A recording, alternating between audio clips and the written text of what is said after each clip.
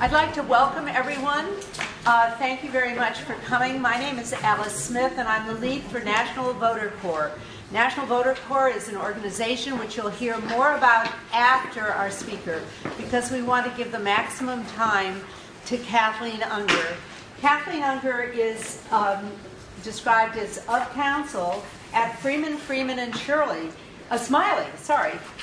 Um, she was selected for inclusion in the prestigious peer-reviewed both 2016 and 2017 editions of The Best Lawyers in America. I have never achieved that. Uh, previously, Kathleen was in-house counsel and vice president at MCA Universal Studios, uh, which is now NBC uh, Universal. For 15 years, in 2007, she co-founded and edited electionspreparedness.com. Um, Kathleen serves on the board of directors of the Philadelphia Eagles Charitable Foundation. Uh, formerly, she served as managing director and CEO of Starbright Foundation with Steven uh, Spielberg as chairman, and as member of the board of directors of both the Scott Newman Foundation and Center, including the president with Paul Newman as chairman um, for the KCRW Foundation, which you probably all know about, and the Valley Community Clinic, including as vice chairman. Kathleen holds a BS degree, a JD, an MBA from UCLA's Anderson Graduation Graduate School of Management, and a mediation certification from a program at Harvard Law School. Also with her tonight, which we're very pleased, um, I'd like to in introduce her, her staff person, whose name is Le Leanna Reynolds Levy, correct? Leanna Levy. Levy, sorry. Um, she has a PhD, has been engaged for nearly two de decades in democracy promotion and citizen participation. She lives in Alameda, so she's going to be very close at hand, we're pleased to say. Um, she has extensive experience in building collaborative partnerships with grassroots organizations along with managing communication campaigns and network knowledge sharing initiatives. And she's been with Partners for Dem uh, Democratic Change for 10 years before that. And she's very skilled in technology. So we're very pleased tonight to introduce um, uh, Kathleen Unger. But before she comes, please hold your questions until she's finished so that she will no doubt answer the question you were first thinking of, and you can build on your question from then. And uh, so out of respect for the time that we have, I would appreciate your doing that. And we will only take questions using the microphone so everyone can hear the question. Thank you very much. Let's give a warm welcome to Kathleen.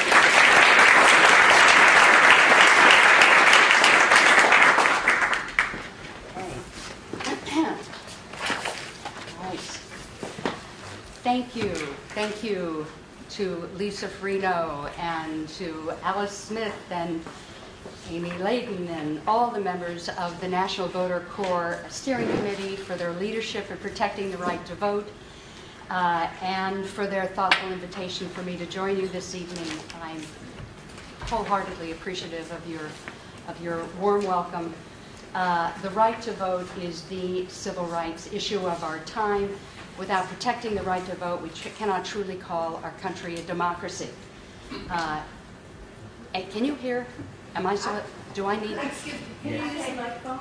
Am I supposed to use this? It's not on. Oh. All right. Thank you. What What do I do? Here. Here we are. Can you hear? Yes. Ah, sorry. Wow. Okay. So uh, as I was saying, that uh, the right to vote is the civil rights issue of our time. Without protecting the right to vote, uh, really, uh, we cannot truly call our country a democracy. And Vote Riders is where uh, rubber meets the road, so that voters have a valid ID and the confidence that their ID will produce a seamless voting experience. So what are Vote Riders and voter ID all about? The first three words of the Constitution, we the people, mean that the right to vote is fundamental uh, to both our Constitution and to our entire system of government. Of course, fundamental to our nation's founding, the Declaration of Independence, is that all men are created equal. Well, millions of citizens do not have an acceptable form of voter ID in the 32 states with these laws currently in force, including uh, Arkansas, uh, with a much more uh, onerous law that just became, uh, that was just uh, passed into law, was just signed, and will go into effect in about four months. Plus West Virginia's law, which is in the midst of being revised, will go into effect next year or 2019. So that's 33 states, and there are an additional 18 states that are considering new or even more restrictive voter ID legislation. Alabama, Arizona, Georgia, and Kansas already have voter registration laws that require documentary proof of citizenship. Uh, and similar legislation is being pursued in Maryland, Texas, and Virginia. Importantly, many at-risk voters in these states don't realize it's just not enough to register to vote. You need a qualifying ID. Before 2006, no state required photo identification to vote. The rate at which states have adopted new and tougher voter ID requirements accelerated with the 2008 election and was then spurred by the demise of mandated federal oversight when the Supreme Court gutted the most effective feature of the Voting Rights Act. Vote Riders, uh, a five-year-old 501c3 nonpartisan nonprofit is the leading organization that deals exclusively with voter ID. We inform and help citizens in securing their ID, and we uh, inspire and support organizations, local volunteers, and, um, and, and communities to sustain voter education and assistance efforts. We concentrate on obtaining the documents required under each state's voter ID law, especially uh, a certified copy of a birth certificate, um, and legal documents approving any name changes, all of which can be complicated, uh, relatively or very expensive, and time consuming. So who's impacted? Primarily those who don't have a current driver's license in their state. The following numbers of voting age Americans who don't have current, unexpired government-issued photo identification came from a 2006 study by the Brennan Center Justice, uh, for Justice at NYU Law School. So these numbers are clearly higher now, that was 11 years ago. Plus we know from expert testimony in various trials that hundreds of thousands of voters lack a voter ID in each state.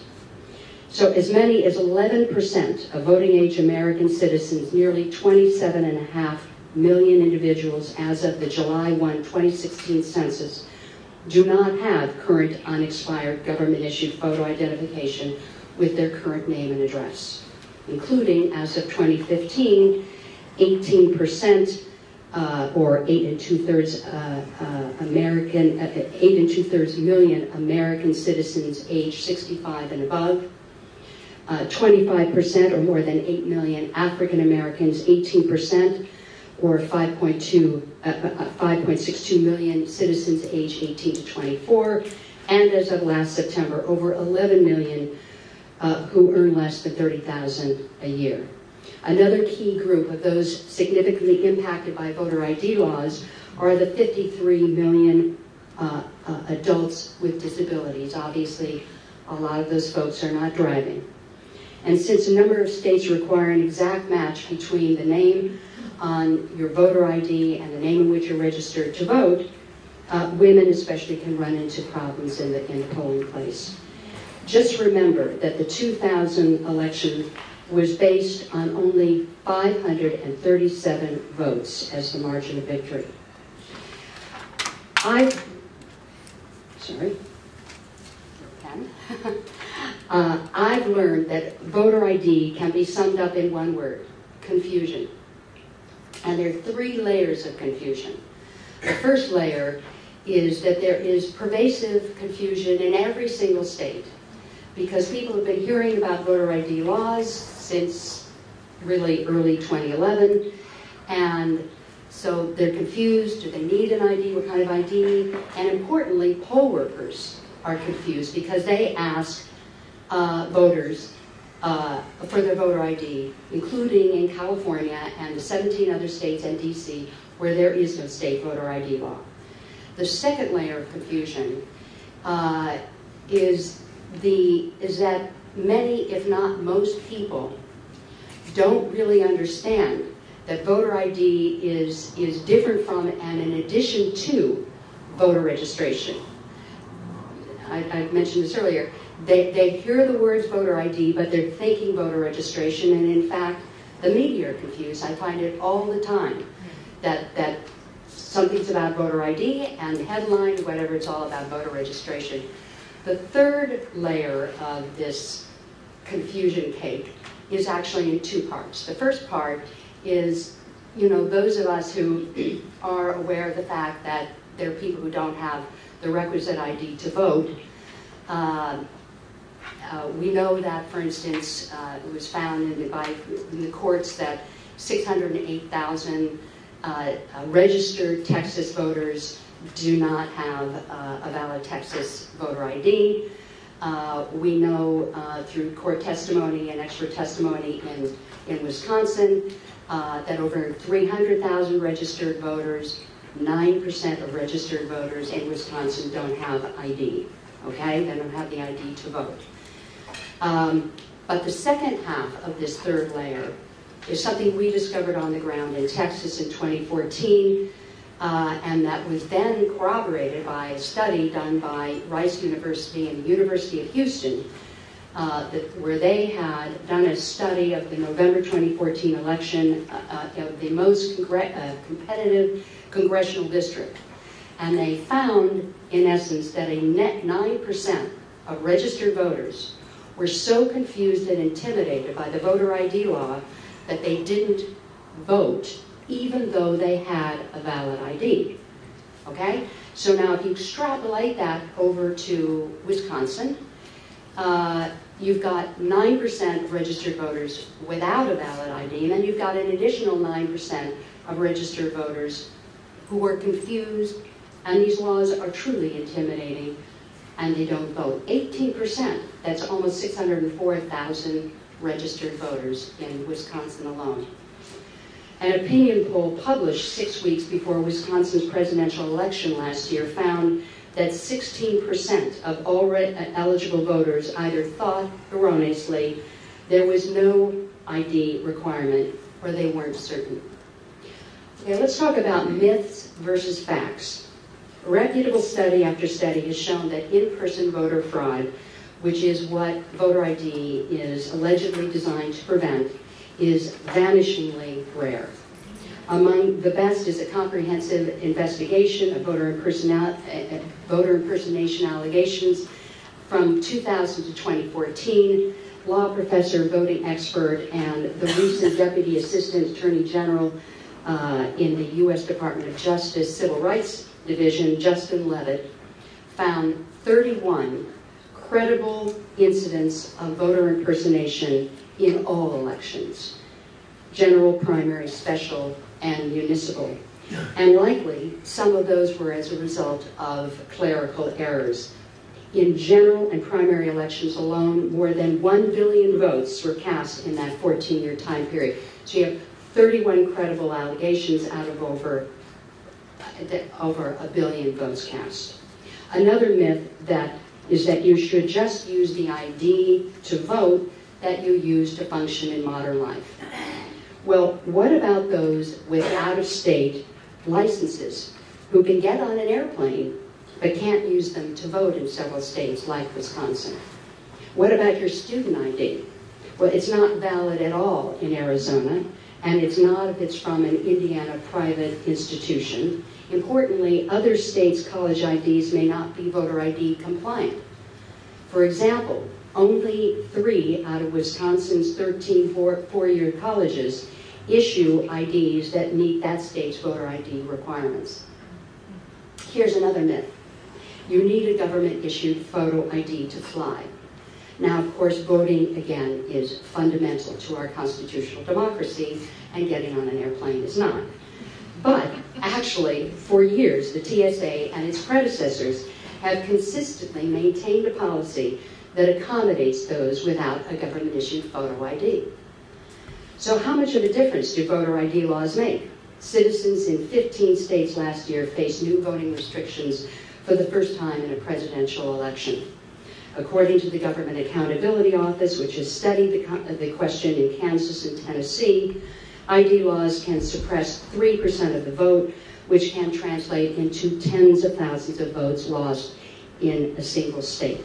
Some unusually frank Republican officials have even cited this figure as their goal. A 3% shift would have overturned Barack Obama's uh, victories in North Carolina and Indiana in 2008 and would have come close to threatening his reelection in 2012. So what is Vote Riders doing about all this? Understanding the rules about voter registration, voter ID, and voting is not a partisan issue, it's an American issue. For those who live in non-voter ID states like California, we are encouraging supporters to inform your friends and neighbors to speak to, to distribute Vote Riders California voter ID information cards.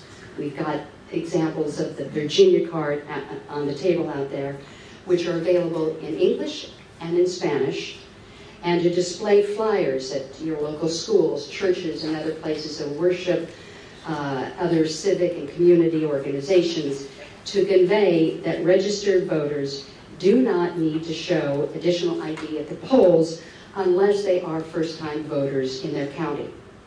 We hope you may even write a, an op-ed for your local or, or regional or even statewide paper. We'd like uh, to make sure you and your friends stay current with the latest developments in voter ID by signing up at voteriders.org. That's V-O-T-E-R-I-D-E-R-S.org for our email updates following Vote Riders on Twitter and, and Facebook and sharing this information with your online and offline social networks in every state uh, be happy to discuss more that with you. Our outreach and assistance include our national toll-free voter ID hotline, 844-338-8743, which includes local area codes in Wisconsin and soon in Virginia. We've learned that good voter ID outreach programs involve local knowledge and local groundwork which is why we partner with organizations that have long-standing relationships of trust in their community in order to reach voters. Finding and assisting people who need to secure ID to vote is challenging. The people most at risk of not being able to secure their ID are oftentimes really difficult to reach. It's the hardest part of this whole thing, is finding those who need the help. It can take weeks, even months, of follow-up work to help a single voter obtain his or her his or her ID. Plus, voters voter ID laws are complex and vary enormously from state to state. In our experience, the most effective way to organize to assist voters is to support local voter ID coalitions that include on-the-ground organizations, local election and government officials, community institutions, and businesses like taxi and other transportation companies. In 2017, it's essential that we expand our network of partner organizations and support their voter ID coalitions. Vote Riders volunteers can help by introducing us to potential partners in our current uh, priority voter ID states. Alabama, Arizona, Florida, Georgia, Indiana, Kansas, Missouri, North Dakota, New Hampshire, Rhode Island, South Carolina, Tennessee, Texas, and Wisconsin. We're focusing especially on Virginia, which is the only state that has, uh, it's the only voter ID state with statewide elections this year. Of course, that list will lengthen as the number of states requiring strict voter ID grows, and then will likely narrow next year based on competitive races that raise voter interest. So if you or any of your contacts have connections with local organizations in these states that might be interested in partnering with Vote Riders, we'd be thrilled to know about that. Collaboration can be as simple as using vote VoteRiders' free tools and resources to communicate each state's voter ID information to their constituents through in-person outreach, their websites, social media, e-blasts, announcements, flyers, and media interviews. Letting people know that if they have voter ID questions or need help, Vote VoteRiders offers free assistance uh, via voteriders.org, info at voteriders.org, and our national uh, hotlines. Um, distributing that state's voter ID information wallet cards, which we have for each of the 50 states and DC, again in English and in Spanish, uh, and which we are continuing to update based on court rulings and legislation. Helping to organize and participate in Voter ID Month, Voter ID Week, Voter ID Day, for which we are uh, finalizing a toolkit, and conducting voter ID clinics. Importantly, we'd love for you to organize a fundraising drive to adopt a voter ID coalition in a priority state like Virginia. These local coalitions need support to offer a full range of voter ID services. Every dollar makes a difference. VoteRiders Riders prepare your fundraising network with a specific uh, state coalition so you can see exactly where your tax deductible dollars are going. I just want to circle back briefly to VoteRiders voter ID information wallet cards. Each state's card highlights the specific IDs that are valid, including relevant restrictions like an expiration date. They're unique and an extraordinarily valuable resource because they're precisely accurate and clear for all those millions of voters who lack a valid ID or who need confidence that their ID is acceptable. Perhaps most important of all, these wallet cards are crucial as backup in the polling place in the case when you're faced with a misinformed coworker. VoteRiders voter ID info cards are extremely useful to those on the front lines of voter registration and get out the vote efforts who need to remind everyone about voter ID requirements in their respective states and refer voters to us to answer their questions and to help them if needed. For instance, last year, uh, the National Voter Registration Day, which is huge, spread the word about our voter, uh, about our wallet cards so that there are 4,000 participating organizations engaged in voter registration drives were able to distribute the cards. Indeed, we printed and shipped over 500,000 cards last fall, including 400,000 to the Campus Election Engagement Project at 167 colleges and universities in 15 states. I can't tell you how much we appreciate your interest and look forward to hearing and, and learning of any ideas you may have. Uh, again, please know your tax-deductible no donation to VoteRiders will help us to print and ship voter ID information wallet cards to pay stipends to local nonprofits qualified staff starting in Virginia who will organize and coordinate their community's voter ID coalition to pay for low-income voters required voter ID uh, documents and transportation to the DMV along with other effective efforts. Now is the time to foster and support voter ID coalitions. Importantly, we must overcome voters' desire to procrastinate to ensure that their vote will count. So I'm happy to entertain any questions you may have. I kind of raced through a lot of information um, and uh, uh, yes. Well, is there, I'll just take the privilege of the first question. Is there any effort to get it to every state university where uh, they didn't have the appropriate state ID for that state university, but it could be appropriate to get them to comply when they issue their student IDs? So, um, some. Uh, okay, okay. So the question was uh, uh, might there be a way to get colleges and universities to issue voter ID compliant student ID cards in their state? So uh, some are more amenable to doing that than others. So, for instance, uh, again, because we just you know had a team on the ground in 2015, 2016 in Wisconsin, so it's very much top of mind. uh, University of Wisconsin uh, at Madison refused time and time again to make their student ID, uh, voter ID compliant. Uh, this is with 14,000 out-of-state students, plus that assumes that the students who live in Wisconsin have, you know, an ID, have a driver's license. That's the primary uh, type of ID. They, they uh, basically they said it was too expensive. So, um, uh, what what we would love to see would be when a student is registering, okay, and they're getting all this documentation uh, to, to not only have a voter ID compliant student ID card, but something that explains, okay, this is, so for again, coming back to Wisconsin, not only do you need the voter ID, you know, a, a compliant student ID, but you also need separately to bring proof of enrollment. So uh, this is this is just an example of what, what goes on. I'll bring the mic to.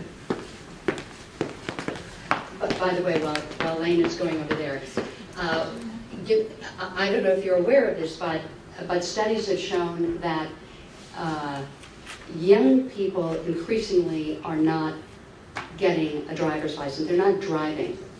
Okay? And then you look at everywhere you look, it's about the, you know, the driverless autos and this and that. And uh, there's where are these IDs going to come from? That you know, that what is going to be the driver uh, for for people, as pardon the pun, to uh, to uh, get a, a state non-driver, you know, non-driver's ID, which is also acceptable in all these states.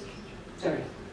So what are some examples of organizations that you partner with? I think I've heard taxis and churches. Um, universities? What, what else? What else have you found to be useful? Okay, so um, uh, primarily organizations that interface with at-risk voters.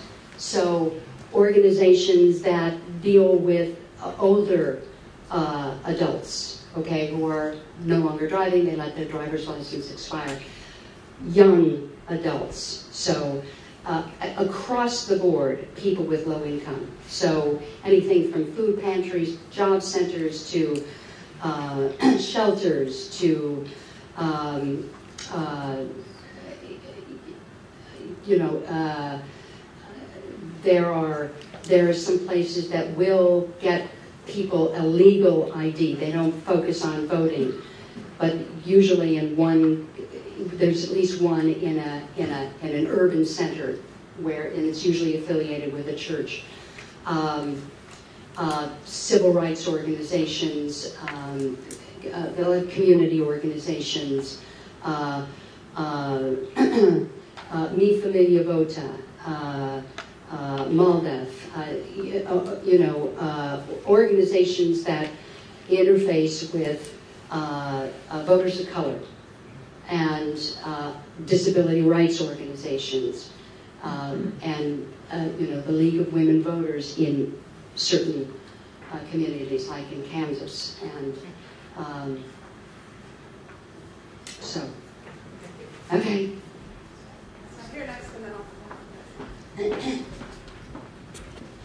I'm concerned about your reliance on printed material. Anecdotal reports from the 2016 Texas situation where court rulings came rather quickly and changed situations.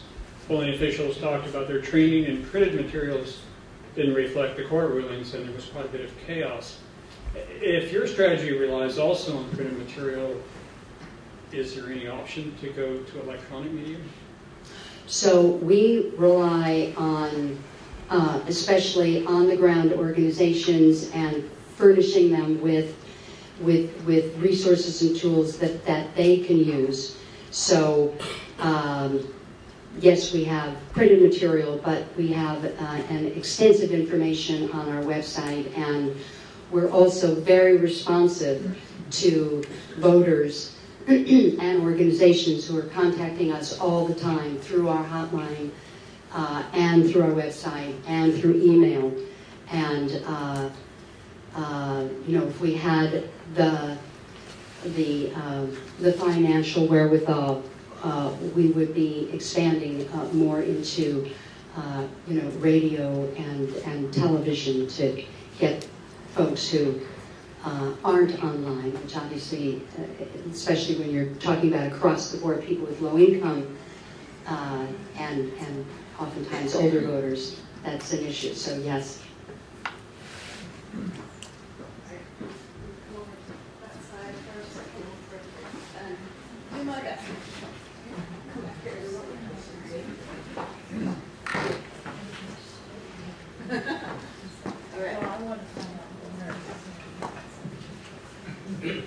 Is a U.S. passport acceptable in all these states?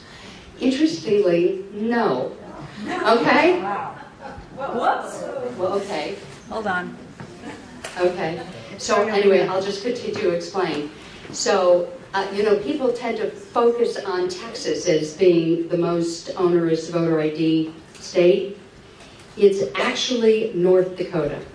North Dakota, it's, it's a driver's license, it's a non-driver's license uh, uh, ID, and a tribal card, okay? Only if you are a North Dakota resident who is temporarily living outside the country, including military, can you use a passport or a military card?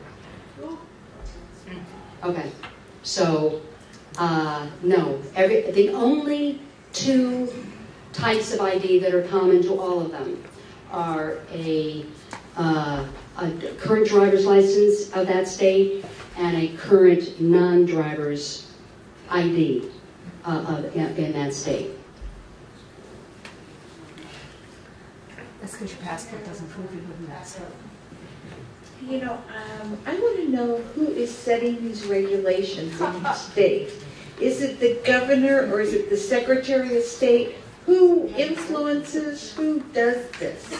Well, it's, it's the legislature who passed the laws and then the governor who signs. And so um, uh, there, uh, frankly, uh, and this is just a fact, uh, except for Rhode Island, uh, all of these uh, stri- stringent voter ID laws have been enacted in states with either uh, uh, Republicans in the majority in both chambers, both houses of their legislature, uh, with a um, with a Republican governor signing, or uh, where you've got a supermajority of Republicans in the legislature who, can overcome, uh, override the veto of the Democratic Party. So if you were to change that mix, could they change the law?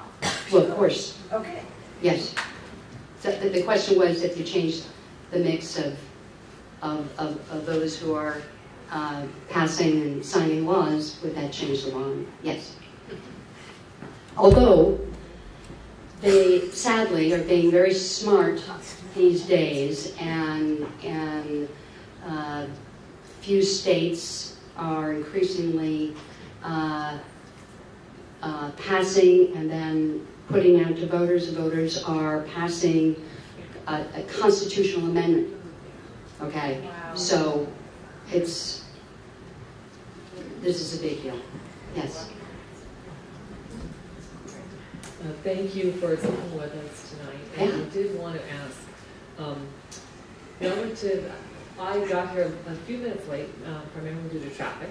And if you've already given an overview. I'm very interested in learning in what specific problems your, your organization is trying to solve. I'm, I'm aware of many problems in this area, but I'm wondering what it is your organization is specifically championing and focusing on. And, and then a second question, um, we're all aware of the Russian interference, and uh, hopefully that will get independently investigated in a bipartisan, objective way, which remains to be seen. but I believe from a lot of articles I read in the months leading up to the election and in the months after, and not from alternative news organizations or fake news organizations, very mainstream organizations, very reputable organizations. Uh, there were things that were done in this area in the 2016 election. Uh, reducing the precincts open for early voting, and people had massive lines that they encountered in some geographies. Um, there were also uh, roles that were created by Republican, I think, state um, secretaries of state to kind of disenfranchise people with duplicate middle names. Um, I heard of other actions as well. Do, does your organization or has any organization looked into, was that a factor in that disenfranchisement in the out, possible factor in the outcome of the election? Have you heard anything about that? Are you aware of that? So to respond to your first question, uh, we focus on educating the public about voter ID, uh, uh, what's needed, if anything, okay, and to make sure that they know where to, to, to come to us if they have any questions uh, uh, or that they need help. So one is information. We've learned that, uh, I mentioned this earlier, no state has done an adequate job, and I am 1,000% convinced no state will do an adequate job of informing and educating their public uh, about what's required with voter ID. So uh, we're thoroughly convinced that that education has to happen through on-the-ground organizations. Again, these organizations that have a relationship of trust with their constituents, their members, their customers, so as to get the word out that way. So one is that information education part, and the other we focus on is the actual assistance part. Anybody who's got a question or, or, or you know, who needs help. Most of the time, we're actually able to help them over the phone and, and online. But if, if an individual needs more help, then we send somebody, then we, then we connect them with, with an on-the-ground organization and or a lawyer. I, I just want to take a moment and tell you about a case study, because I think you will find this interesting speaking. So this is in, in, in Wisconsin, a U.S. Marine Corps veteran, Dennis Hatton, was born in Arkansas in the early 60s. He moved to Illinois and then Wisconsin to care for his ailing mother, then his father, then his grandmother. He was living at a shelter for homeless veterans when he attended a VoteRiders' presentation about voter ID requirements. Discovering that a Wisconsin voter ID would require his obtaining his long-lost birth certificate, Dennis worked with VoteRiders Wisconsin statewide coordinator and a volunteer attorney. The next six months was consumed with investigation and follow-up, including multiple trips to government agencies. We eventually found Dennis's birth certificate, birth certificate, but only after discovering that the midwife who attended his birth had misspelled Dennis's name on the document. Fortunately, that misspelled name was corroborated by his original Social Security application. If it hadn't been, he, he would not have been able to get, uh, you know, a valid birth certificate and wouldn't have been able to vote. So Dennis finally received his ID to vote just in time for the election. How many people would be able to undertake that kind of effort in order to vote? Uh, more importantly, in a democracy, should the basic and sacred right to vote be available only to those who have easy access to documentation or the resources to track down and pay for documents buried in our Byzantine county by county system of vital records? Of course, the fact that the DMV and poll workers are not consistently and well trained is a huge challenge to the proper implementation of these laws.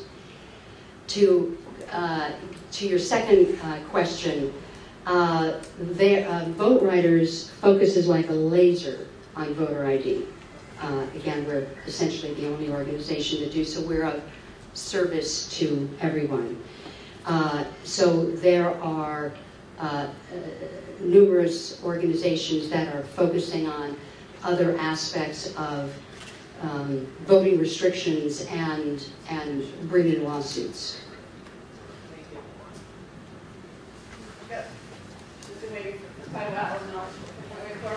Thank you for your work on educating uh, the public, the citizens on voter ID and getting the word out. Thank. Another question I have in terms, this is a poll tax in another guise, Mhm. and this is unconstitutional and um, illegal.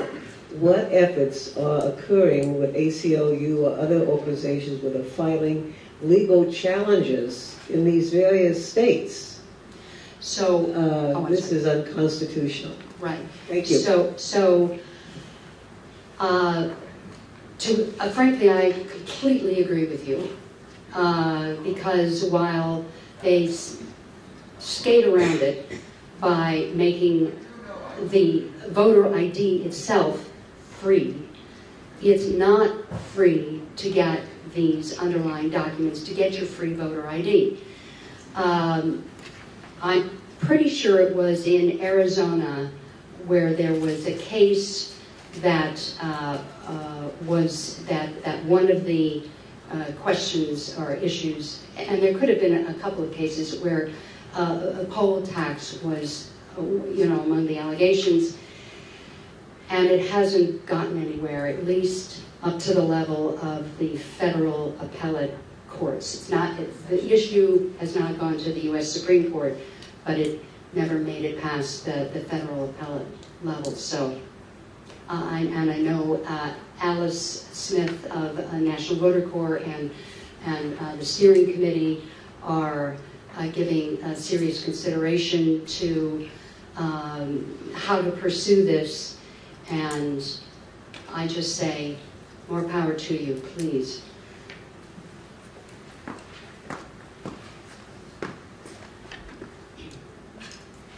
Could you? Could you dead battery. Okay. Could you, voice. all right, so could you speak to voter requirements at the time of registration versus trying to vote in person at a poll? Are there trends, or could you explain the difference? Right, so uh, the question is, uh, what differences might there be between the requirements for identification when you're registering to vote versus voter ID? Um, And I should mention that while North Dakota has the most draconian voter ID law, um, uh, it's the only state in the union where there's no requirement to register to vote, so. uh, uh, So, uh, as I mentioned, there are four states, at least, uh, uh, Kansas, Alabama, Georgia, and Arizona, that require documentary proof of citizenship to register to vote. Uh, And the Secretary of State of Kansas, Chris Kobach, is, is absolutely the leader, bar none, of the hysteria around uh, non-citizens voting and doing whatever he possibly can to uh, to uh, encourage states to uh, restrict uh, voting in the various ways. Um, and there are another three states that are considering uh, these laws. A, a, a concern is that uh, that the uh, potentially the Trump administration uh, will either uh, try to, or frankly, it could be both, uh, to try to enact a national voter ID requirement. And another concern is that the national voter, what it's known as the motor voter law, the National Voter Registration Act, um, uh, that they will try to to uh, get Congress to to restrict that, um, so that uh, uh, so that the federal voter registration form, on which one need only attest to one's citizenship, uh, would uh, uh, allow states with their own uh, voter registration restrictions to um, apply to those who use a, a federal voter registration form.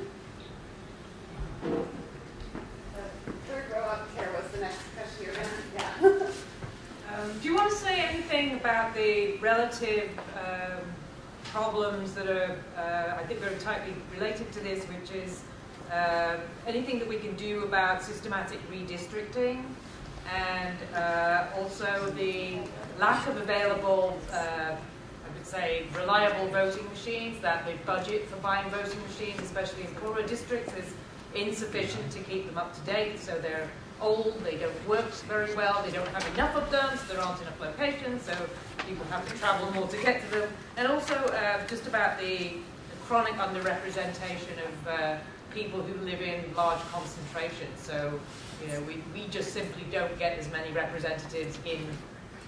So, I mean, I, are there things we can do about this? Because this is all part of a bigger picture of problems that seem to be stacked Right. against one side. Right. I, I, I will say that uh, one of the methods uh, uh, to my madness was of, of, of, of focusing on, you know, and founding VoteRiders is that, uh, A, I was outraged that people are losing the right to vote. Uh, I felt all the way along, who knows if, when, and to what extent any of these laws will be overturned or weakened.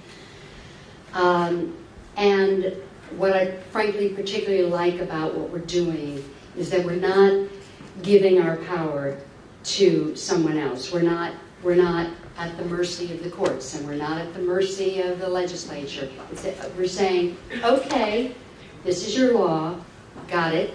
Now let's do whatever we can to make sure that, that eligible voters in your state are, are going to have the ID so that they can vote. So that's, that's our approach. Um, Lena, okay, all right, here, I'll, forgive me, I'll, go ahead. Hi, thank you so much for your work. Do you have any reason to believe that uh, the trend we're seeing in the increasingly restrictive laws is going to change?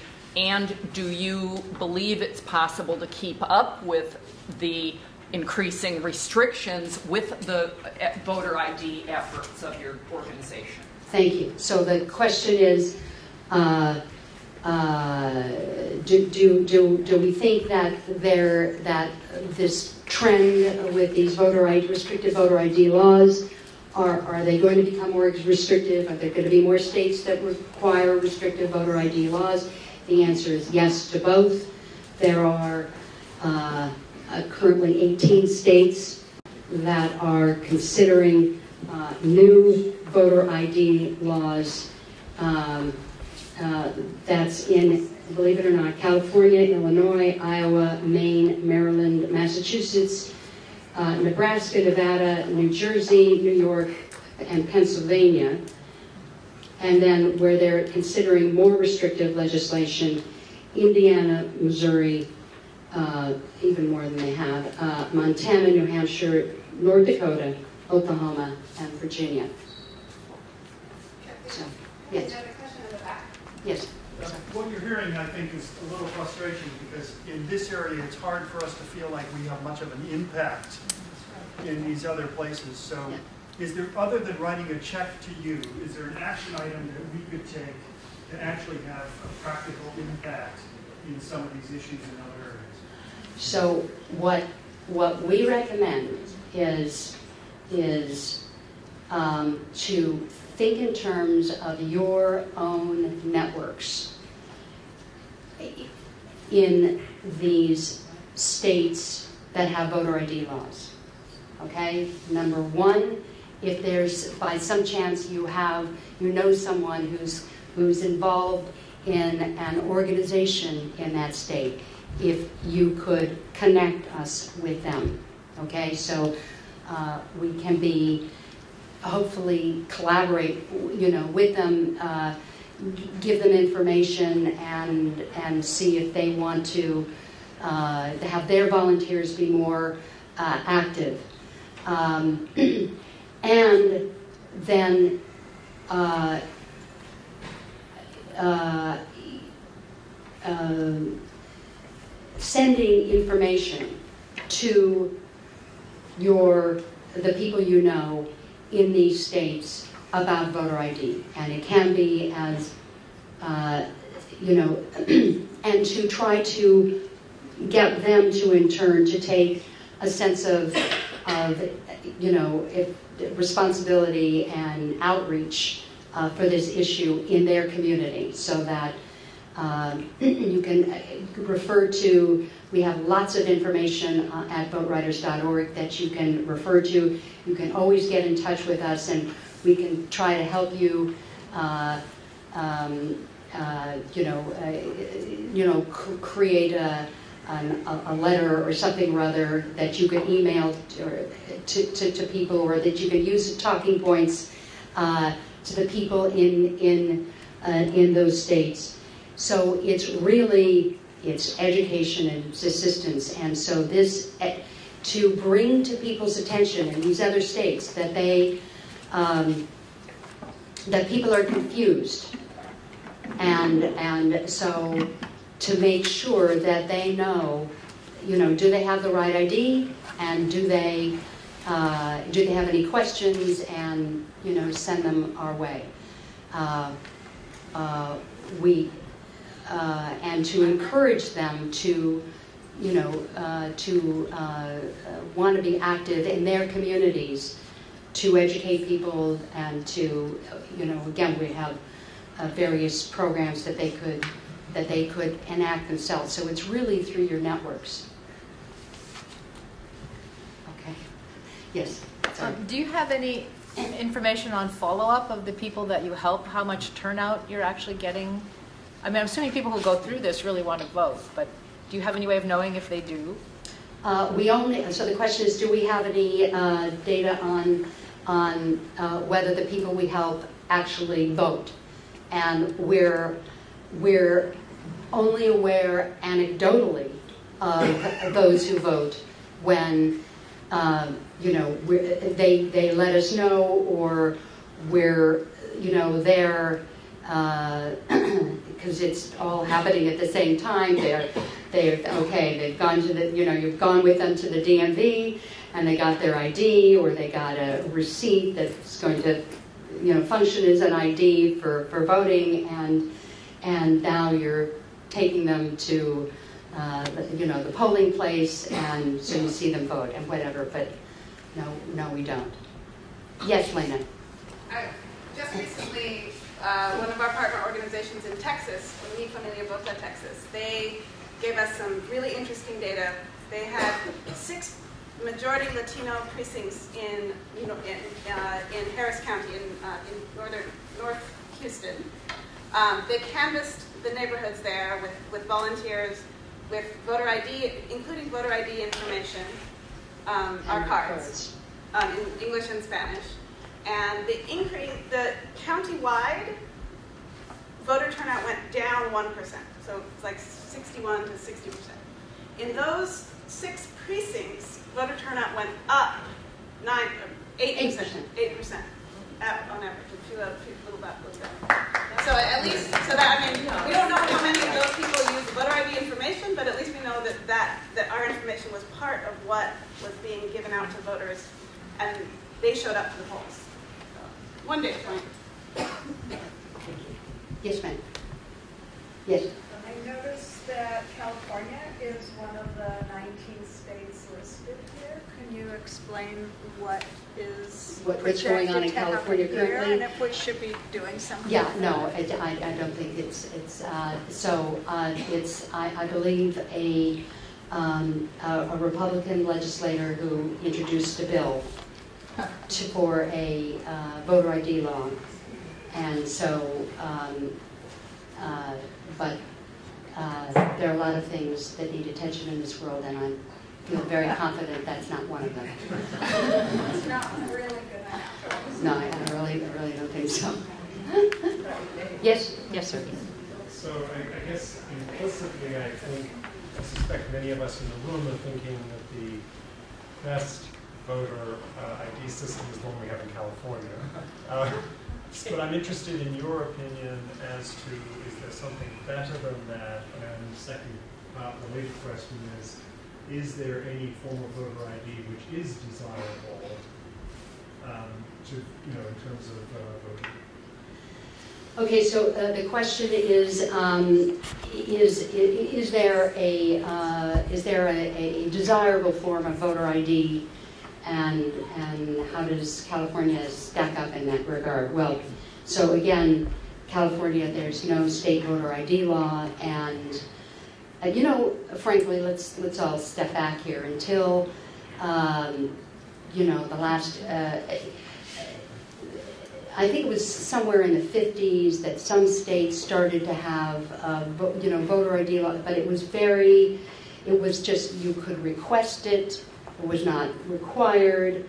And then in, you know, uh, 2005, 2006, when this was enacted, these requirements started to come in place and, and they took off, especially after the uh, 2008 election of uh, Barack Obama. Um, uh, so, and here's here's the, those behind uh, voter ID laws have done a terrific job of of making it now.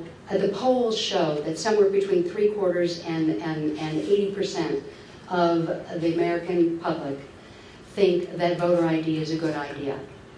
Their attitude, of course, is, well, if you need an ID to get on an airplane or you need an ID to, to buy liquor, well, why, why wouldn't, of all things, you need an ID to vote? It's a very simplistic uh, uh, approach, uh, let alone the fact that none of those things are, are, are fundamental to our Constitution and, and our system of government.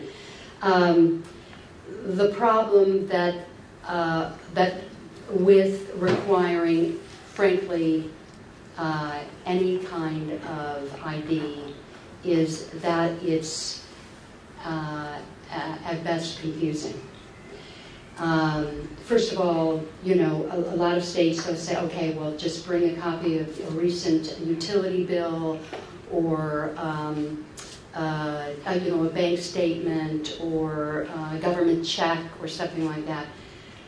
There are millions of people that don't have any of those things in their name. All right. Now, what about where what's being contemplated in Iowa, where they're going to, if this passes, they're going to mail uh, an ID, non-photo ID. They're going to mail an ID to people. Well, what happens if you lose your ID and uh, what, and then and then you, you it just it creates all these complications. There are now then you go to the polls and I can't remember because there's so many states, there's so many laws, but let's say you have to swear uh, that you you swearing to your identity and that you don't have one of the valid IDs. Okay, well there's confusion because you, you actually do, but you lost it, or, you know, uh, uh, something like that, okay, and this is under penalty of perjury. It's just coming back to this intimidation factor. It's a problem. Yes, sir. Has any state implemented uh, the issuing of a voter ID along simultaneously or in conjunction with registration? Or is that something politicians wish to avoid? Uh, like- yeah, all right, so, so this is interesting, uh, but it's not to vote, it's so interesting. At our hotline, we get calls all the time from people who want to know uh, what can they do to get their ID. And as it turns out, what they're talking about is their voter registration ID card. Interestingly, uh, there are states or there are colleges and universities that that that people need to have they need to have the number on their voter registration ID card or something. Anyway, we get these calls all the time, and And so I just walk people through it. I say, okay, what's your county? What's your state? Okay, now we're going to Google voter, voter registrar. Okay, here we are. Here's a phone number. Call these people because that's the local person who will be able to give you your your uh, your uh, voter registration information. Um, so uh, uh, no, there's that. That's as close as it as it comes to my knowledge. Yes, ma'am. Uh, One additional question is, that you mentioned previously League of Women Voters, um, ACLU, and a lot of organizations that team with churches or you know, people of color and that sort of thing. Can you speak up? Yeah. Relative to the League of Women Voters and the ACLU, some of the larger organizations that have some decent funding, has there been any effort from your organization to sort of team with them so that you could maybe pool funds or pool, you know, pool resources or even leverage campaigns? Um, you know, because it does seem challenging, especially all the hard work you're doing, but now you're facing new laws in yet more states. So it feels like to get Well, on you're- top you're- of this, yes. you're gonna have to get a, a broader slate of You're, you're, you're, you're, you're preaching to the choir. We, with uh, the National Voter Corps uh, Steering Committee this afternoon, we were talking about that very um, prospect. Uh, so, uh, Watch Al- this space. Allison and, and, uh, and, and Patty and uh, a bunch of folks are, are going to be trying to, to make steps in, in that direction. So, you know, would make a lot of sense. I did want to mention for some of us who may not know, many people here are probably extremely well informed, but uh, Chris Kobach, by the way, the gentleman you referenced, I believe he's the Secretary of Yeah, I State mentioned him. for Kansas, I believe is his role. He was the one I was indirectly referring to when I said he created massive voter rolls that Yes. anyone with Yes, duplicate right. names. No, And- he's- At first, I wasn't sure how serious that effort was. Within days of Trump's election, he was named to Trump's transition team. Yes, no, I know. So that, that- it's, it's a big concern. Uh, Okay, yes. Well, maybe I just knew this, but all this, all this is very complicated. Um, So is there an ongoing group here in the local area who um, brings us together to keep learning about this and keep trying to do something effective? So uh, with that, I am really pleased to reintroduce Ms. Smith, who's the founder of National Voter Corps and uh, who uh, we are very much looking forward to working closely with uh, everybody up here. So So watch this space because we're going to give you a very, please stay for this, right? We're going to give you a short presentation on National Voter Corps.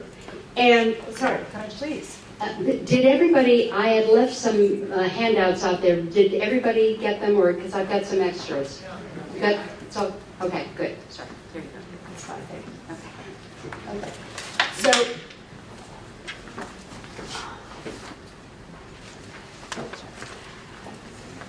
Can you see that? Okay, so uh, I just want to introduce, there are new slides here. If you've seen it before, stay because we want you to ask us more questions. Uh, but I need a little help here how to get this into slide mode. Oi, I need a little help here. Uh, Scroll. Scroll down. Yes, it- here's my expert. No, it's, it just looks weird. Okay. It's a, it's a PDF. Oh, it's on here. Uh, Lena? Lena, do you want to come up? Here it is. Or did you guys? Okay. Right, right, right, right. One more. One more. That's it. Thank you. Oh. No, we want to full thing. I want to full screen and I just, This is going to drive me nuts. I can't stand stuff like this.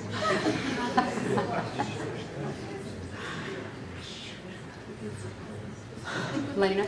The green uh, button on the upper left. Yeah, yeah. Oh. Elena, thank you, my dear. Okay, thank you. Welcome. Uh, will the steering committee for National Voter Corps put your hands up, please? Because we're, we will be happy to answer questions after, it, after you go through this and you ask us questions at large. Um, who are we? We are a group of people from Silicon Valley who were very upset after the last election.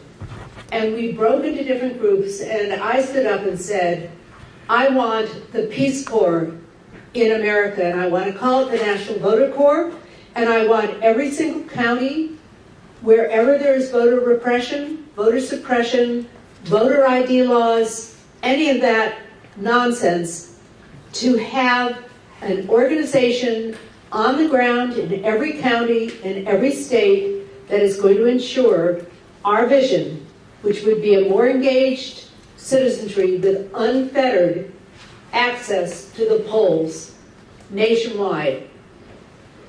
Lyndon Johnson summed it up when he said, a man without a vote is a man without protection. He was ageist. We're, you know, we're in a different world now. Now it's not, why can't I get to the next one? The arrows. Our mission. We want to create a national nonpartisan organization to fight voter restrictions and to work towards 100% voter participation. Now, if a voter doesn't want to vote, there are some religions that say you can't vote, whatever, that is a tragedy, but that's not our problem. At least a person who wants to vote ought to be able to vote, and it needs to be now. Barack Obama said it. There's no such thing as a vote that doesn't matter. Our mission.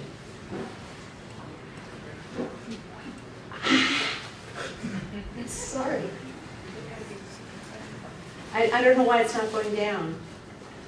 Uh, this, I'm not technically, Are you using the arrow key or? I'm using the arrow key. There you go. Okay, so who are we? We've said who we are as a group, but you are, all of us, we're all concerned citizens here. And we really want to stop voter discouragement. And what we want is to better, our goal is to better coordinate all of these national and state groups to fight together. So we discovered VoteRiders through uh, some of the web searches that we're doing. Hence, we've invited Kathleen here. Two weeks ago, we had the leading authority from Stanford University talking about voting machines, voter fraud, and his one conclusion, David Dill, his one conclusion was you must have a paper ballot and the count must be auditable. And under no circumstances have internet voting.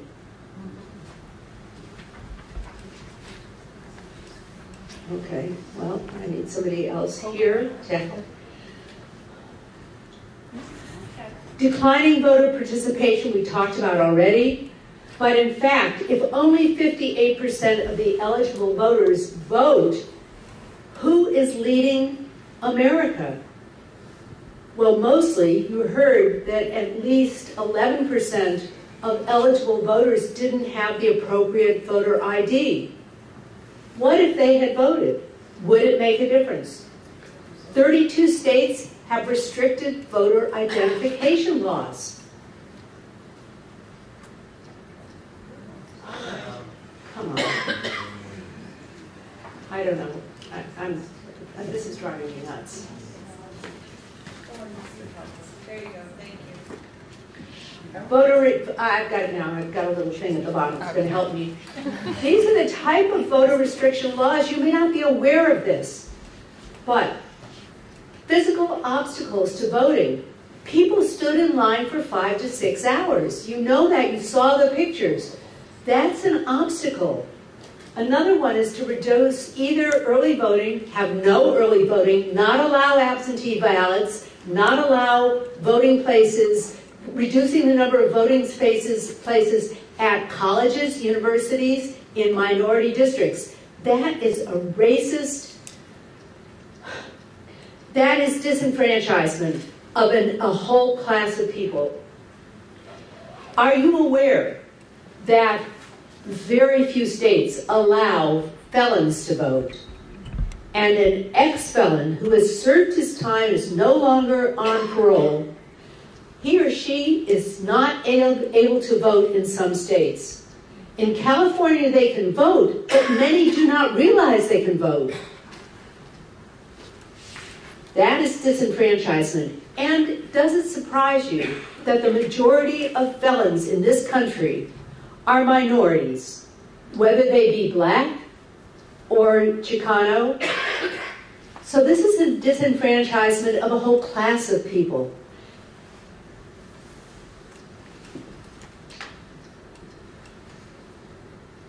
If you can't vote by mail, what happens if you're traveling on business? If you can't, if you're ill, but you had to apply for your vote by mail or your, your absentee ballot before you got ill, you are not going to be able to vote. Is that right? Someone here talked about uh, interstate voter uh, registration program. I believe Kansas was one of the examples. A cross-check program.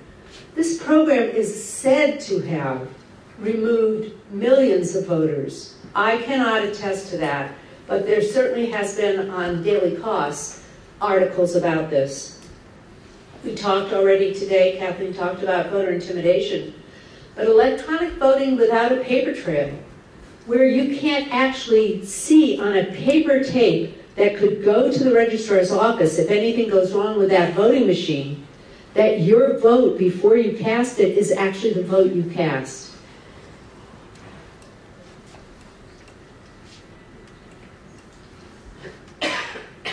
So here's a sample of, as my friend Lisa calls it, the map of shame. Green,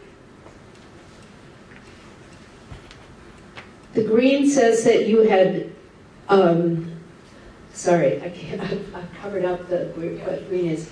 Uh, green is a good place to vote. Does it surprise you that uh, um, in some states now, they have the, you can see the red. This is where they are going to be changing or make it even more repressive. Maine, Maine is supposed to be a fairly, a fairly reasonable state. They have legislation right now in the legislature to reduce voting rights.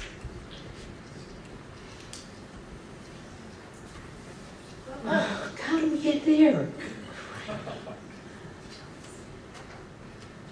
I don't know how we got there.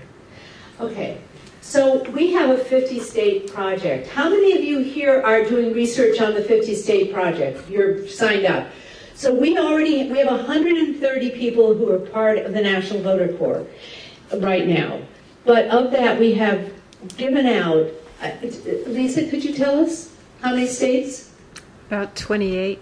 28 states where we are doing basic research, not on what the voting laws are, because you can get that at VoteRider, but what organizations are on the ground in each of these 30 states whom we could try to feed through our National Voter Corps volunteers to go and help in those states where you need to have voter ID, voter, VoteRider needs more help where we could feed volunteers, we could get people power from the ACLU, we could get the of Women Voters in those states or those specific counties to actually work together. So we want to feed people to where the need is.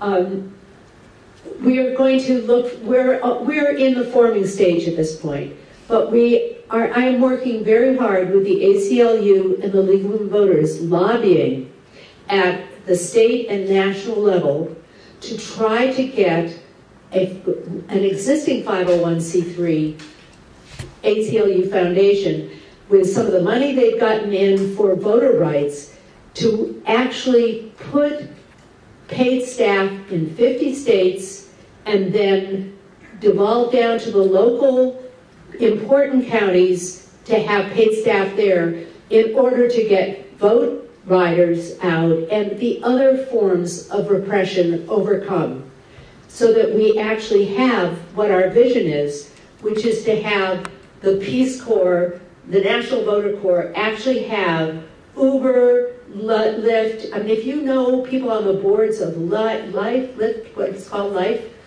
I don't know. I don't use these groups, but if you know now,